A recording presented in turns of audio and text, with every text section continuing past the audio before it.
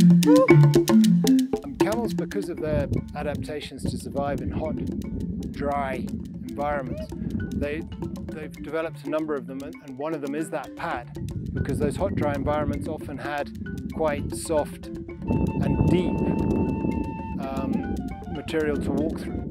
The wider pad enabled them to do so. And cattle, one of their negatives and positives is their feet are like plows. So they tread on all of this and they can literally cut out the grass in the root and it won't regenerate. Camels have a much more gentle footprint as you can see and they don't do that damage. Um, the reason cows, I say it's positive, is in the wet season, they genuinely plough the soil and they allow the seeds an opportunity to break through the crust and come back.